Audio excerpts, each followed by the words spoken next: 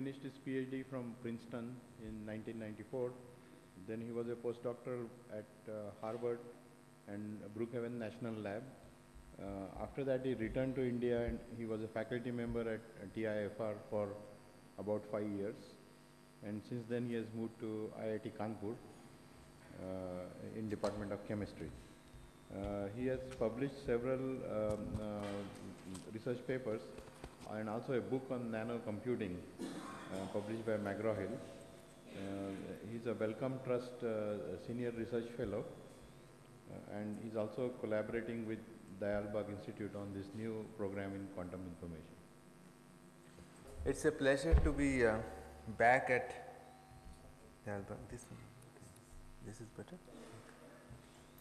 And uh, especially honored to be in the session which is being chaired by uh, none other than uh, my hero Narendra Karmarkar. Uh, quantum computing or anything to do with computing actually uh, whatever enthused me was sort of I would say began by the ideas of two main people who influenced me in this area.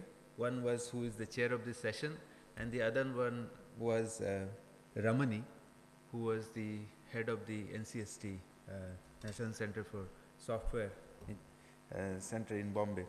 So when I was in TIFR doing physics, I got into that area and since then I have been exploring areas of quantum computing and to me it is an area where we can ask questions which yet has no answers in a perfect sense and as an experimentalist it's a wonderful situation because we are confronting uh, frontiers where perhaps solutions are not yet known. And so I uh, often get a good feeling that we are working on problems which hopefully has a solution. Um, some of the slides that I have put are mostly for the help of the students which unfortunately I think today you are having some exams or something. So, I think the students are not in a plenty number today, um, but uh, ne ne nevertheless we will see how things go. Um, so, and most of the work is possible mostly because of uh, students. One of my main reasons uh, for which I moved from TIFR to IIT Kanpur was the students because for an experimentalist it, you need a large body of students who work with you and if you do not have the large body of students then it becomes very very ineffective to come up and do any research. And TIFR otherwise being a wonderful institution one of the biggest problem it uh, used to have is the number of students. Fortunately with the new campus in uh, Hyderabad coming up uh, I am hoping that you know the future generation of TIFR faculty members will not have the problem that I face. Also space was a major concern. Without any further uh, introduction, let me get into this problem that we are going to talk about. Until now, you have been hearing and listening lots of talks on the mathematical aspects of the problem. Today I have decided, this is perhaps my fourth talk in uh, Dayalbagh uh, on the area of quantum computing in the years. And so today instead of going into more of introduction and more of mathematical issues, I have decided to, to focus on what I am essentially uh, known for or what I essentially work on which are experiments. And so I begin with the concept which is the experimentalist realism or the dilemma that we face when we confront the problem of quantum computing. So, the first problem is when we are in this area we have to first look for appropriate and accessible quantum systems. That is the first issue that we have to worry.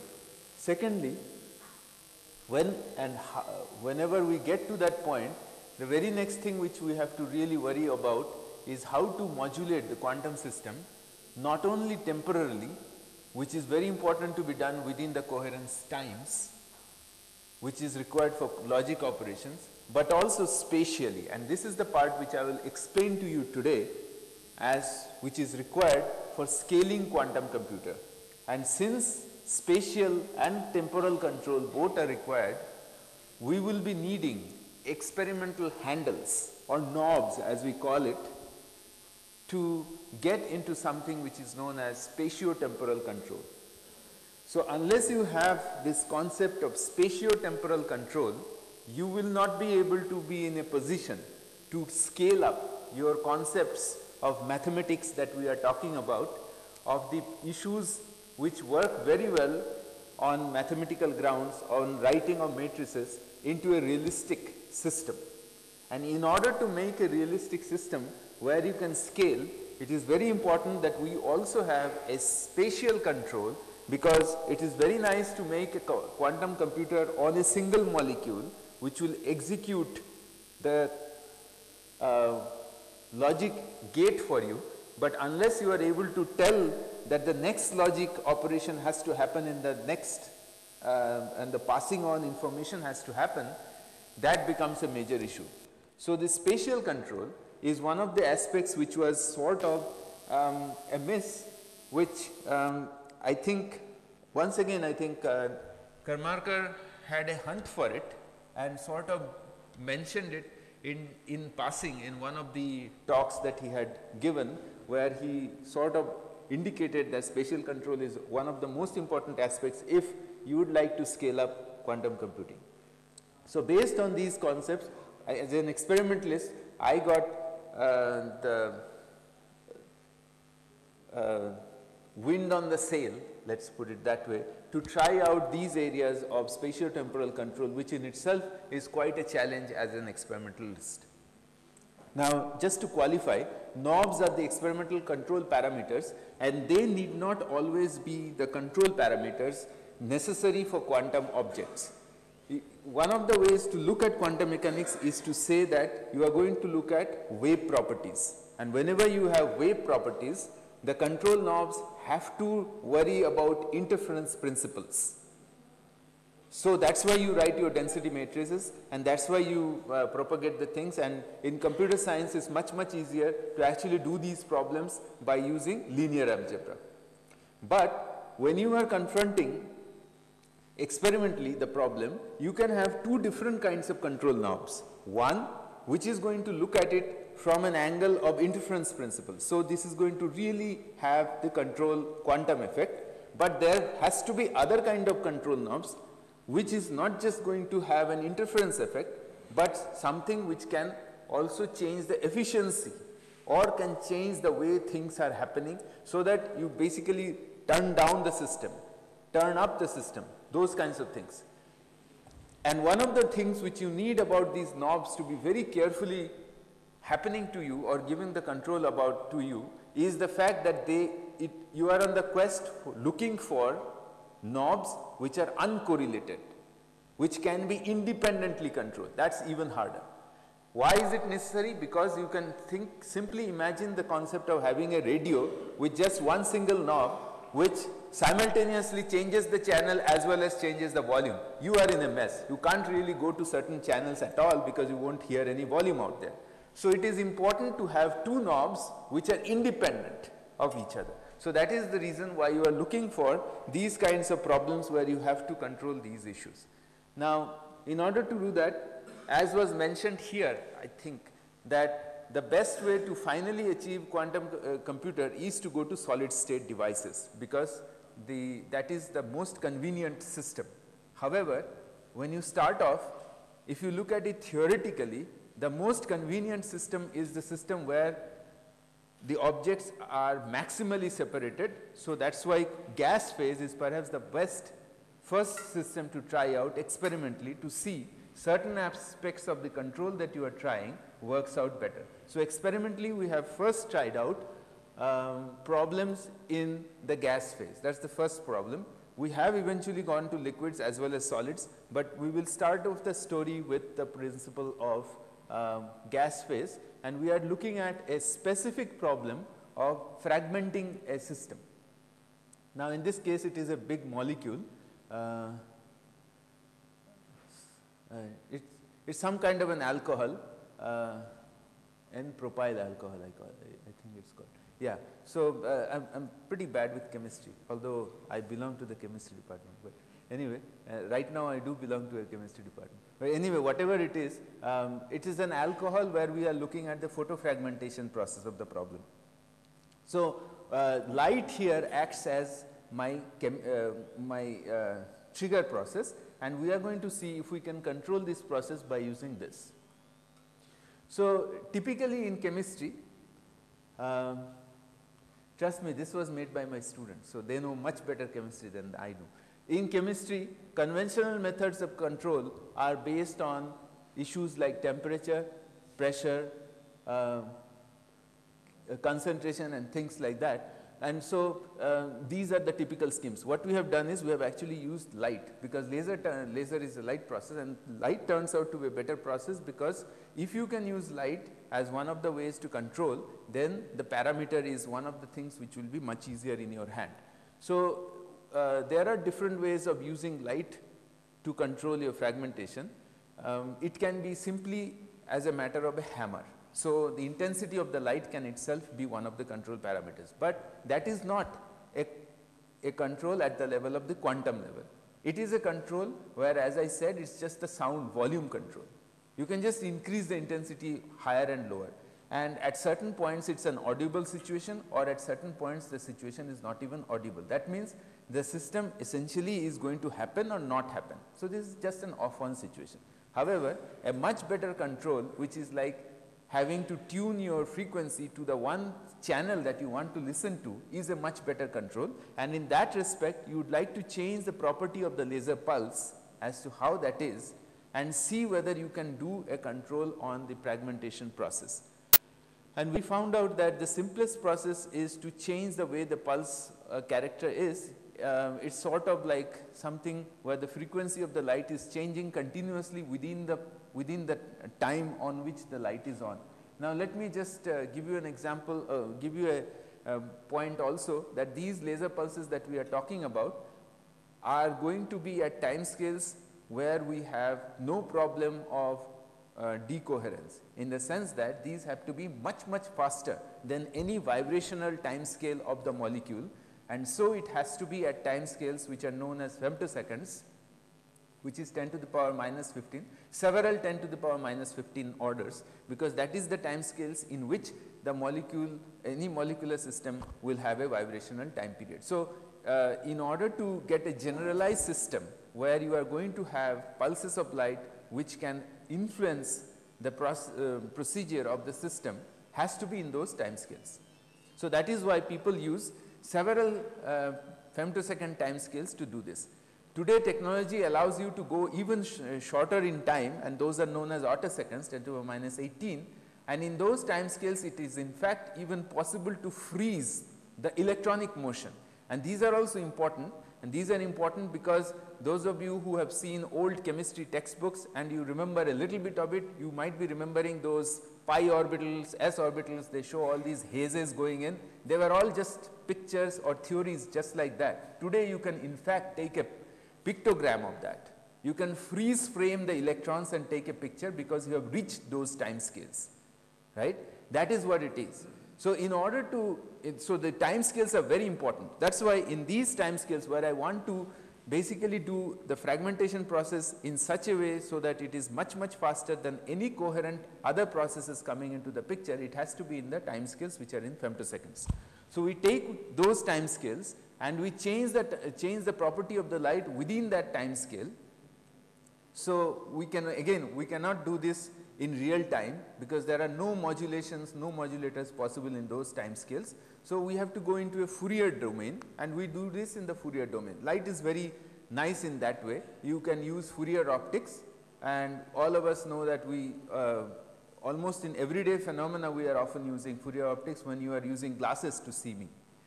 Uh, glasses are fantastic Fourier plane objects. You can use simple glasses to convert, I mean lenses, uh, which are your glasses, glasses that you are using. These are uh, perfect ways of looking at uh, Fourier transforms. So, physical Fourier transforms are very simple to do. So, by using physical Fourier transforms, you can get into a, a way how to do your um, change the property of the light and do it that way. As we go along, um, I do not know if anybody has discussed Shor's algorithm here or not. Those of you who have seen it, you would also know that it is actually uh, the quantum Fourier transform principle which is used in Shor's algorithm. And um, so, uh, if you look at it, the, the concept of using light has its advantages. Um, we will get into those details later. But the principle here is that we basically can change the way the light frequency is and once we do that we are able to specifically that this, these are quantifications of how you define how much it is going to change and all that.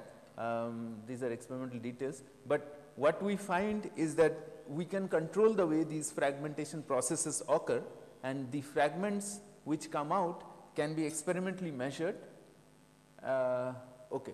Although it might sound so simple and easy, the, the system which is used is quite complicated. This is a molecular beam chamber uh, where the experiment is done in one of the chambers like this. This is stainless steel chamber um, and the way you make these chambers have all these molecules come in a specific particular way is to use um, huge pumps so that you reduce you essentially remove everything else but these molecules that you want to inject and in order to do those today we use turbo pumps which and which if you see would be uh, these are basically the propellers that you see in your aeroplanes. Okay these are the propellers. They rotate so fast that it, they can take out all the air suck out all the air and you can go down to 10 to the power minus 8 uh, atmospheres of pressure. Under that condition you can just inject molecules from, uh, from, the, from one of the ends and uh, you can select a few of those molecules in such a way so that they are under laminar conditions.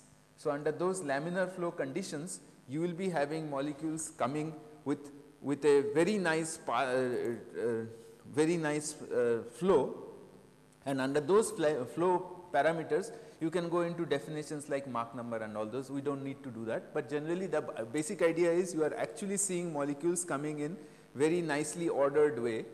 Under that condition when you uh, cross them with a laser, you can specifically pick out a single molecule and study that molecule's fragmentation process. And that is, that is the reason why it is so use, uh, easy or uh, to explain the physical phenomena which happens as a result of that.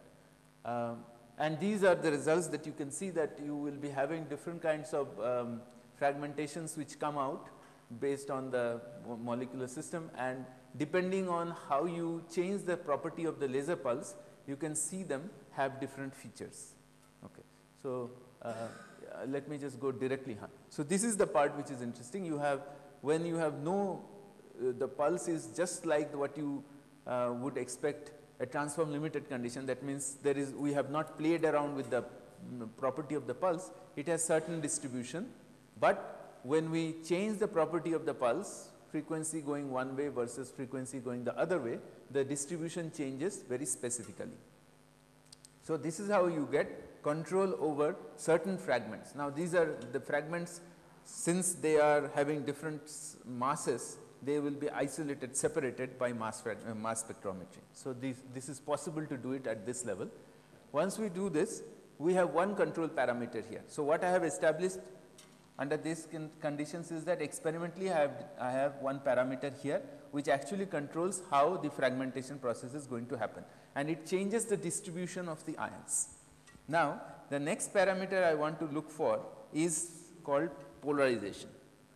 Okay. Now, what is polarization? Again polarization has been mentioned here. Now, we are talking about light, light polarization here. In this case, the light polarization is the direction in which our electric field is oscillating. If it is linearly oscillating, then it oscillates either vertically or horizontally. That is one of the ways. And if it is, uh, uh if it is um, circularly polarized, then you will have uh, these linear and sorry the horizontal and the vertical coming right after each other in 90 degrees apart so that it looks like a uh, screw going in. Okay, that is the circularly polarized light. At any point of time if you take a projection it will look like a circle. Uh, you take any screw, you will see it like that. That's how the circularly polarization is going, either going forward or going backward. So that is the circularly polarized light and the linearly polarized light. Uh, by the way, if you want to take, uh, if you want to treat light as a quantum object, when you take its projection, projection is nothing but taking the measurement along one axis, you, the fundamental property of light by the way is the circularly polarized light. These are, this is the light which has the uh, plus, uh, plus 1 minus 1, the quantum numbers. The linear polarized light is in fact a linear combination of the two circularly polarized light. Okay. Uh, often it is thought about in the other way that you have which is more fundamental because linear polarized light is something which you often get, but generally circularly polarized light is the more fundamental quantum property which if you have a measurement you will get an eigenvalue whereas if you actually measure linearly polarized light in terms of measurement you will not get the eigenvalue it is a combination it is a superposition result. So, that is one of the things which is to be also uh, noted. So, here however, we are not doing a single uh, quantum system, uh, we are not treating light as quantum. Here we are treating light as a classical situation where we are having a screw kind of a situation which is all, uh, or uh, uh, light going vertically or horizontally and between the two we find that there is a control. One of them does enhances and it goes through these kinds of peaks. These are all again these are all the fragments. Now, one of the things you have to notice here this time I am not dispersing the fragmentation properties. All the fragments are there, they are just going all together going up and going down. It is like a volume property here, right. Because I have treated it semi classically, now the light parameter acts like a volume property. It is actually going just taking all the fragments up or all the fragments down.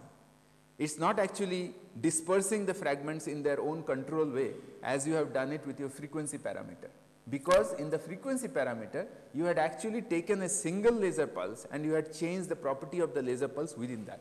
But still, remember in both the cases, they are actually not at the quantum level because I am not taking a single photon of light in both the cases. These are many, many photons of light coming. And yet, in one case, I managed to pick the single um, uh, property of the system, whereas quantum level property of the system, whereas in the other case, I am actually picking it up on a different scale. So, these are two different knobs, but they are knobs in a different way and since they are working in these two different ways, they happen to be completely mutually exclusive of each other. So, when I have a polarization going this way versus the uh, frequency content of a laser pulse going the other way, then they are completely mutually exclusive. I can completely uh, work on my polarization independent of my chirp parameter which is the property of the laser frequency within the laser uh, within the pulse and I can have them independently working of each other. So, this was actually an interesting result because it turns out that of all the quest of uh, uh, looking for knobs, it is not yet possible to look for knobs which are completely mutually exclusive. Almost all the knobs are connected in one way or the other to each other. Okay, and uh, since both these knobs, uh, control knobs, are not specifically possible to be pointed out as a quantum knob to start with, one of them behaving quantum mechanically at the end and the other one essentially remaining as semi-classical at the end, to the end, uh, picks out uh, gives out two different parameters. And so, what happens is at the end you can get polarization only case, polarization plus chirp case where you are actually dispersing and then showing them differently and then going through that property. So, you can make a play a combination of these two now and try to see if these fragments can act like your qubits. Point is at the end of the day you are looking for qubits which is controllable at your hand so that you can devise logic devices, logic uh, problems for you. So, this is one of the ways of looking at the problem. Now, in gas phase, I already told you the advantage that is that they are far enough away so that this So, this is a wonderful model for single model single molecule systems or in fact ion traps essentially work on the same idea. The ions are trapped in such a way so that they are far enough away so that you can have all these uh, properties having of each other. The difficulty again of the ion traps is how do you manipulate them to come closer or to have them intermittently co connect to each other and that is why you could only get about 8 to 10 qubits possible in a ion trap because within that field which is magnetically coupled in that case, you can create a ripple which will make them couple only up to 8 or 9 qubits. If you want to go further than that, you can't do it because your field property does not allow you and since they are physically separated, you have a problem. So, this is one of the issues which you have to quantify and that is why I told you in the beginning only that spatio-temporal control is one of the things which you need to have. So, here we enter. So, what is the, so this, this year we have not yet started. 2010 is the 50 years of lasers and uh, one of the forgotten persons in this uh, uh, laser field um, is now been finally recognized by the Optical Society of America also is um, Ashkin who had first developed the concept of optical tweezers. So, the idea is it is a very simple idea and it actually does not involve anything very fancy even a uh, optical light I mean this, this pointer can be used in that case. All it relies on is a Gaussian profile of a laser beam which due to its uh, profile is going to apply photon flux enough such that it is going to hold the uh, hold the particle due to the field uh, photon flux of the light.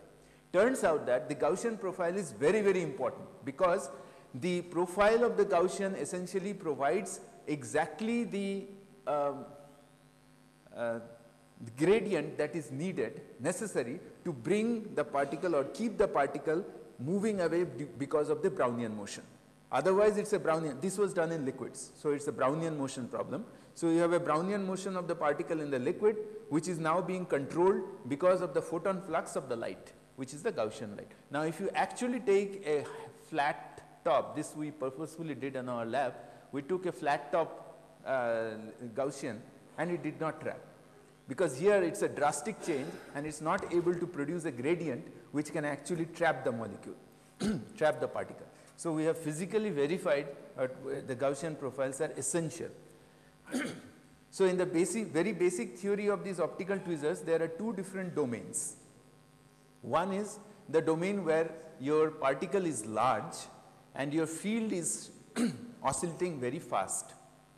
This is when your diameter is much much larger than your wavelength and this is known as the Mie scattering region. Names are not important, but sometimes they are told because it is associated with some scientists and we should show our respect to them. And um, the other area, other part is the Rayleigh scattering region where the diameter of the particle is smaller than the wavelength the essential result is the same. You end up producing the same effect that you can trap the molecule or the particle, but uh, the, the mechanism into which how these work is different. And in practice many of these cases are used where the di di diameter is actually close to the size of the uh, close to the wavelength. Uh, so, this is roughly the way the picture is drawn that there is this restoring force which is due to the light pressure uh, which is created because of the propagation of the light. The Gaussian beam is therefore very, very essential because as the light is moving into this, so this is a large enough particle. So, as the light goes in that is the bending of the light which is helping you to do these things. Um, and so, you get a restoring force and you can in fact use a very simple harmonic oscillator principle to prove that you can um, show how this uh, principle works. So, here it is actually that is why you use a focal is a uh, tight focusing lens which helps this process so that the particle is always trapped right close to the focal point. So, that is what is being used to do that and you get a stable trap. In the other case also uh, what you will find is that the it is the polarizability rather than the uh, uh, bending of the light uh, that was refractive index. So, but either way the essential result is that you are able to hold the particle in the trap. Now, the equilibrium, uh, okay, it does not matter, these are more details. Okay. Now, what we thought about is that if we want to bring in temporal nature to this entire problem, then we have to bring in a pulse laser light, not these kinds of uh, lasers which are continuously coming because I don't have any control on time in these cases. So what we did was uh, we went to these laser pulses which we use for controlling because we as I mentioned to you before only uh, if we want to do any kind of molecular level control it has to be in the time scales which are in these 10 to the, uh, several 10 to the power 15 uh, minus 15 seconds. So, when what we did was we used the same technique and it turns out that it also does the same job in fact it gives us additional advantages. What is the additional advantage? the viewing of the uh, problem becomes much, much easier because femtosecond pulses, each of these pulses have so much of an intensity that it can induce a process which is known as two photon uh, fluorescence. Means um, it will it will end up lighting up a fluorophore which otherwise would not be um, showing itself up because of the intensity of the laser pulse that is present there. Okay, so femtosecond pulses are impulsive pulse region pulses which create enough, uh, which creates uh, results which are otherwise not possible because it is able to induce those kinds of processes. So, you can actually use a coated fluorophore which will be simultaneously trapped under this domain and you can observe it much more easily. That is one advantage. Secondly, uh, it can also help us in ways where we have uh, where we have to achieve a lot of intensity. So, for instance, if you go down in size, it turns out that the intensity of light that you need to trap the particle becomes larger because the Brownian force, Brownian motion is faster. So, since the force, since it is faster, the restoration needs to have also a much higher force. That means you need lot more uh, intensity of the laser. Now, as you increase your intensity of the laser, it turns out that it also imparts heat so, that is not going to help you, it is going to hurt you. So, heat you want to reduce the heat thermal load. Secondly, you also want to actually reach a intensity level which is required to uh, get to these kinds of um, trapping. A very nice situation is achieved when you have very, very short pulses because your intensity, instantaneous intensity is very high. So, you will be able to achieve the intensities that you need and yet you will be uh, in the region where you have not violated the heat principle to that level limit. And we were able to use that um, principle. Uh, this is basically the setup. Generally quite an elaborate situation where you are able to also image it. So, it is almost like a microscope in some ways. Uh, and you can see the light uh, going in and doing this. And here is the example of these cases. Uh, there are two ways to observe this. One is by looking at the backscattering of the light which is going to hit the um, particle and you can see the backscattering of it. So, you have a background there and in these cases you can see the background also. So, this is the place where the light is going and when the particle comes you can start seeing it. Okay. Now, when you are looking at the 2 photon fluorescence you can as well look at the fluorescence only and in that case you do not see any backscattering. So, it actually becomes much more easier to see it. So, with a pulse laser this approach is possible whereas this is not possible for the other continuous lasers that is the typical uh, trapping problem. So, this is one thing which you have an advantage with.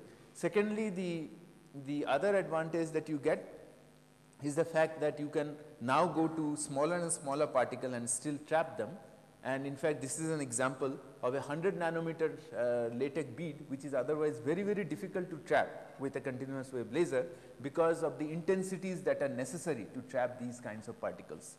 Uh, but in our particular case we can easily do that and what we have landed up in is in a very interesting situation where we can in fact get to a situation we have trapped one particle and we have now it has come to a point that my trap size is such that I can physically you can think about a potential.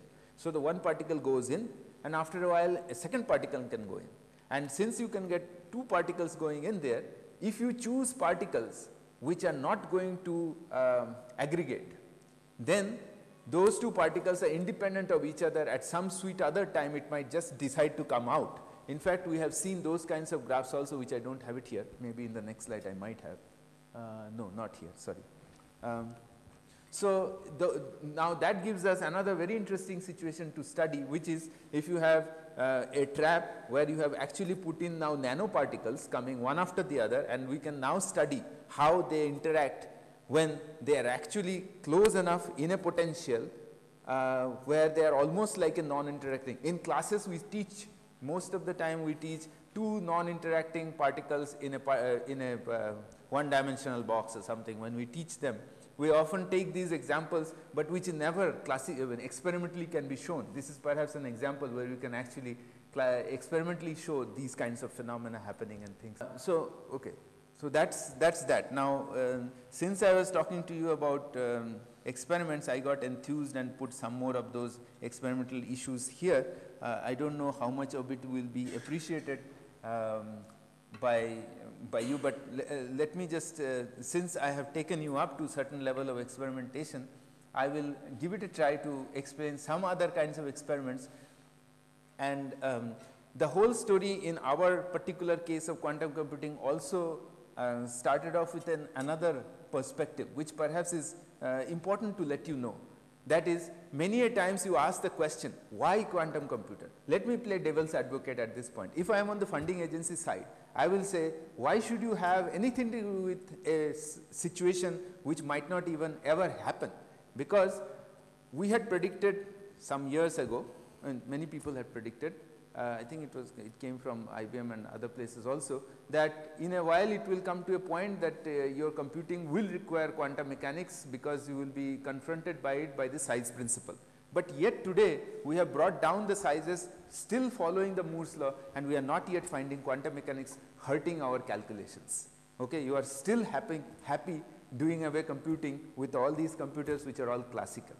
Now, if that is the question, then many times your funding agencies will not be very happy to plate out uh, quite a big sum, of money for kinds of things that we would like to do.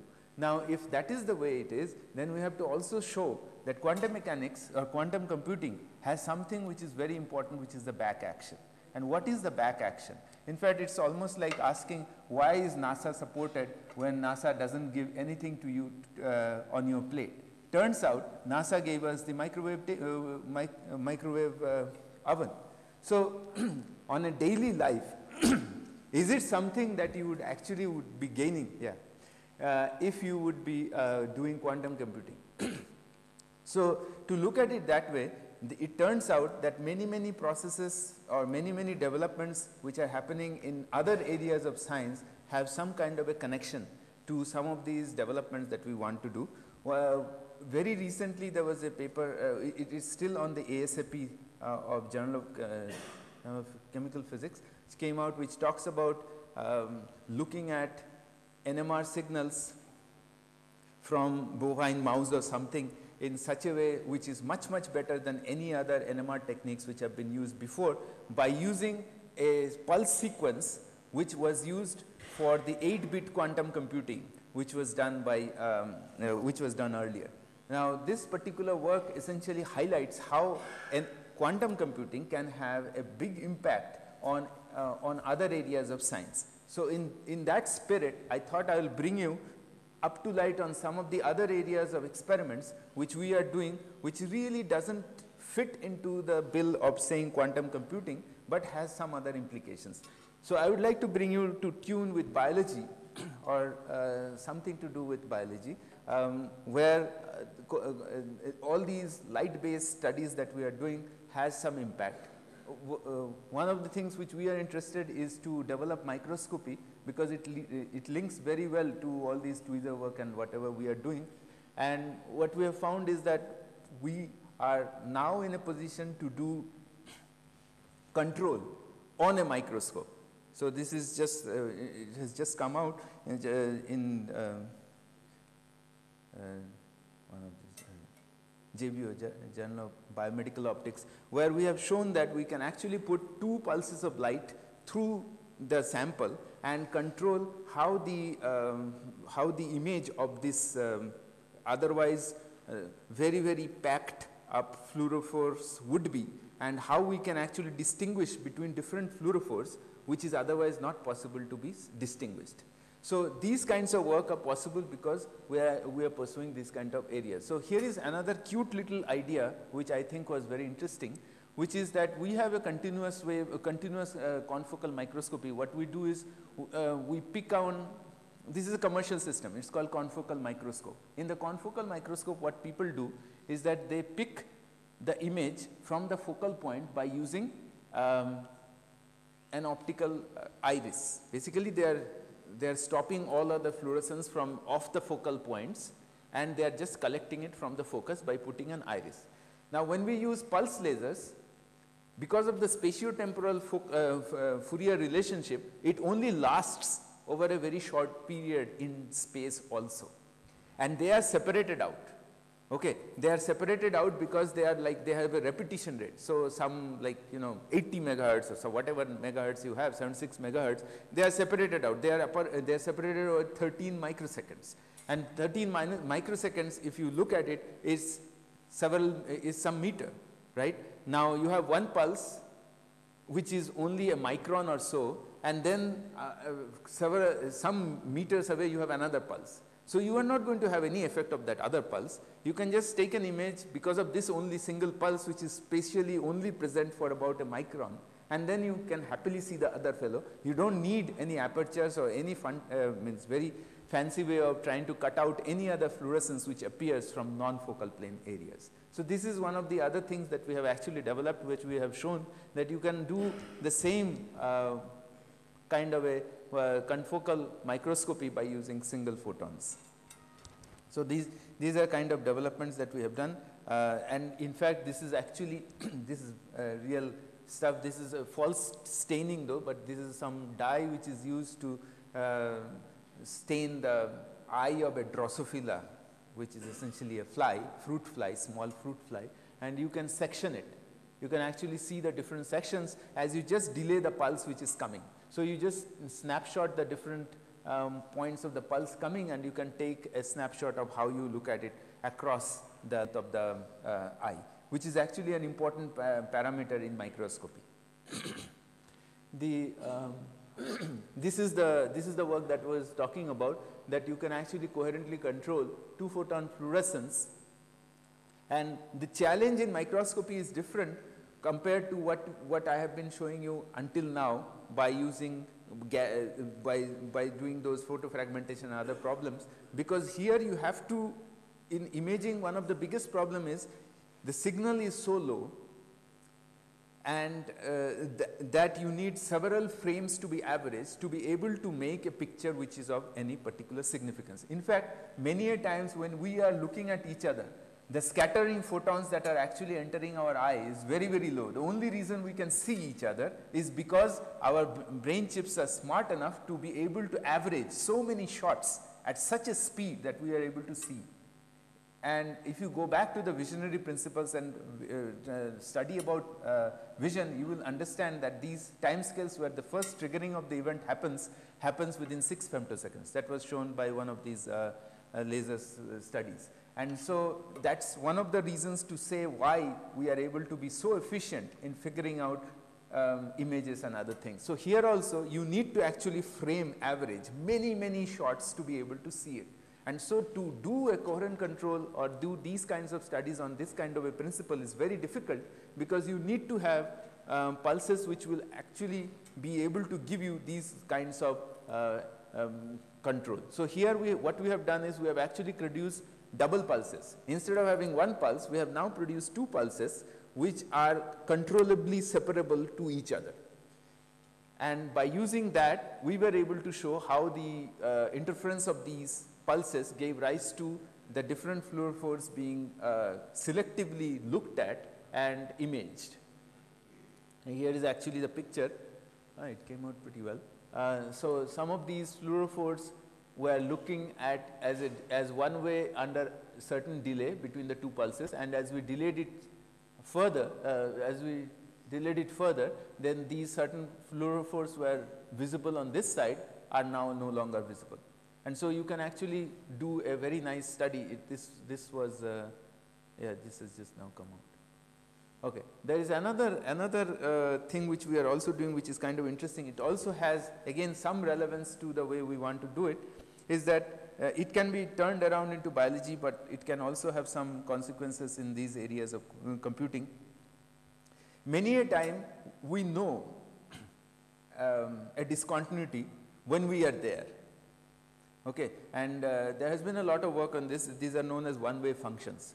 Uh, the point is, if you if you are sitting at a discontinuity, in this case, particular case, we are actually showing an interface as a discontinuity. And in this interface, we have chosen uh, two different uh, solvents. Uh, one is immiscible with the other, and one of them has the dye, and the other one doesn't have the dye. Uh, although it can be the other way around, but the, the dye is miscible in both the cases.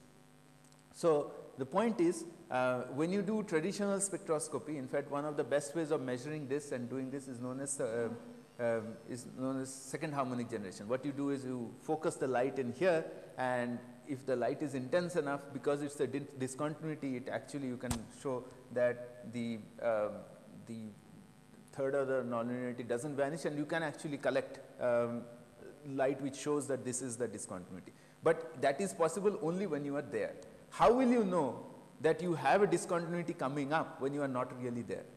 This is the question that we addressed, and it turned out that when we were doing um, when we were putting in one laser pulse and then looking at it with another laser pulse, uh, the time scales that we measured changed as we approach the uh, interface. And this is one of the uh, very first instances which shows that you can probe an interface from a remote point. So, this is like remote sensing an interface which turns out to be a very important technique because this is one of the very few ways what it essentially is measuring is a transport. Because these cases, in these cases what's happening is, uh, these are the dyes that we had used. Uh, this is how, this is how actually it looks as you are approaching from the bulk to the interface, it shoots up.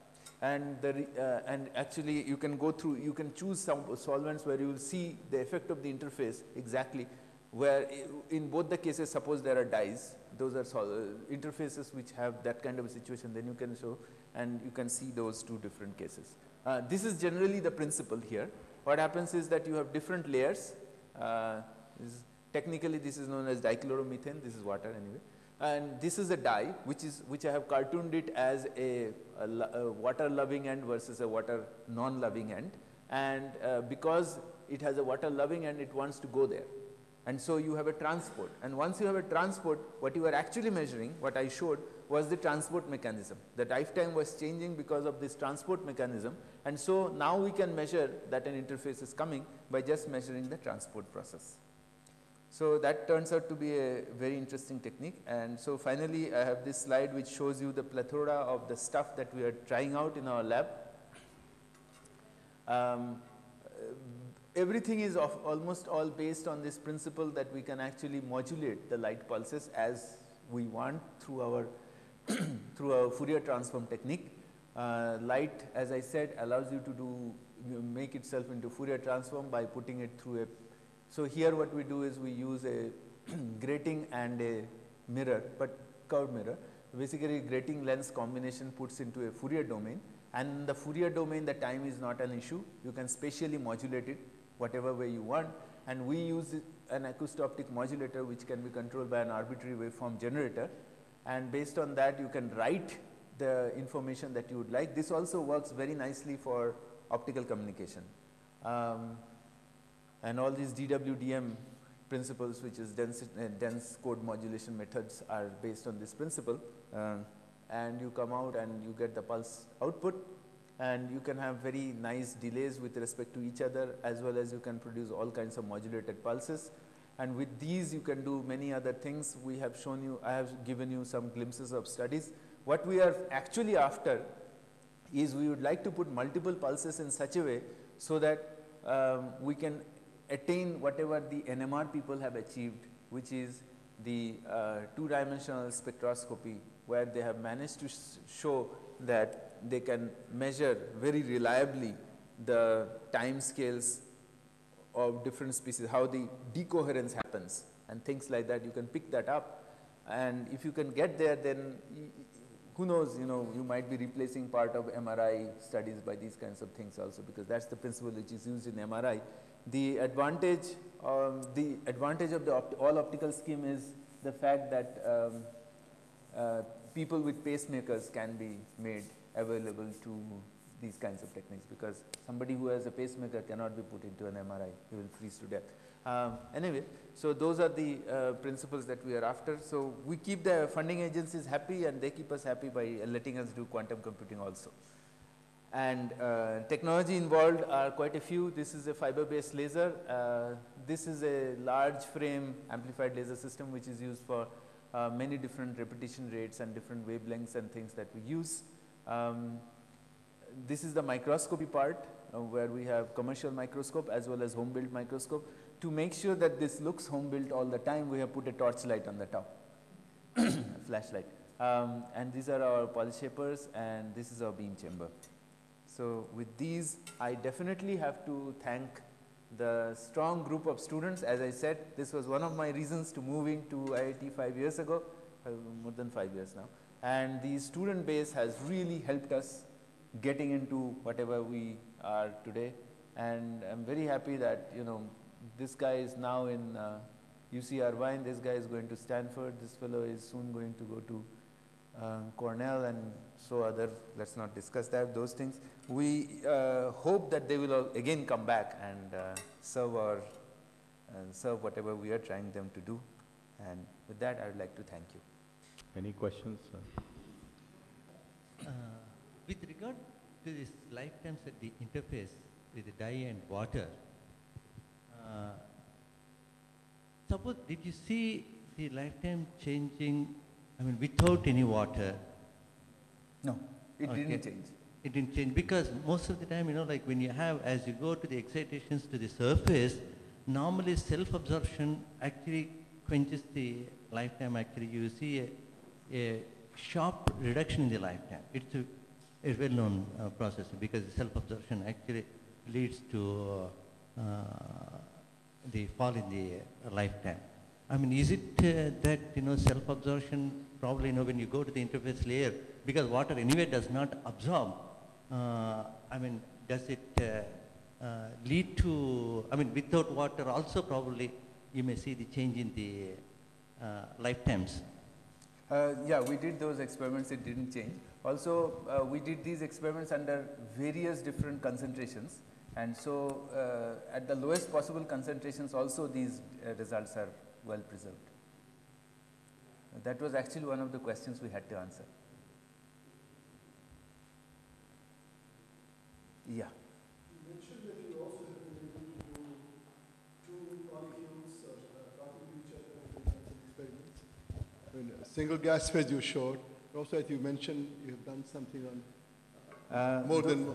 Uh, yeah, um, so in, I, I, don't have that graph here. What we have managed to do is uh, when uh, this was in, uh, this is in connection with the optical trapping, Uh, optical tweezers. One of the problems which we always had when we go went down in size is that these, uh, this was a uh, major problem which he was also mentioning is that there is a lot of aggregation. So we had to go to a point where we could in fact play around with the buffer conditions and everything in such a way so these particles in fact were repelling each other.